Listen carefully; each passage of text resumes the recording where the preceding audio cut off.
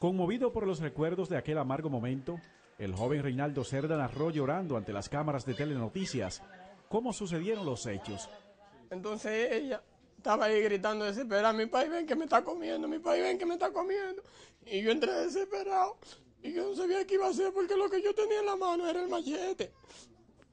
Y cuando yo le tiré, yo pensé que yo había mucho el parro nada más.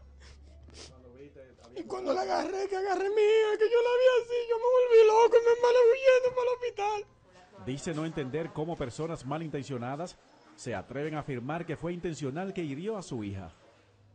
Yo me volví como loco. Yo no conocía a nadie. Y me sentí demasiado mal.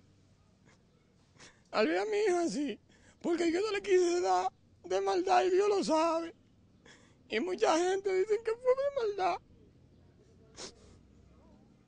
De acuerdo a las recomendaciones médicas, la niña Coral Cerda, que aún permanece en el hospital Darío Contreras, debe estar en un lugar adecuado e higiénico, algo que no podrá recibir al regresar a su humilde casa, cuyo piso es de tierra traerle en esas condiciones que la niña está, no está, no está de acuerdo, porque que van, a, van a hacer lo mismo, van a, van a hacer un trabajo de balde, porque las condiciones que esa niña no está, y ahora la casa está mejor, porque nosotros aquí los vecinos nos hemos unido y se le hemos arreglado un ching.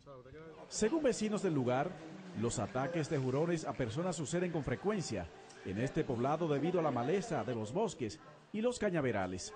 Sí, claro que sí. A una señora no hace mucho tiempo y uno, uno mordió dos personas precisamente porque tenía rabia. Para Telenoticias, Nison Rodríguez.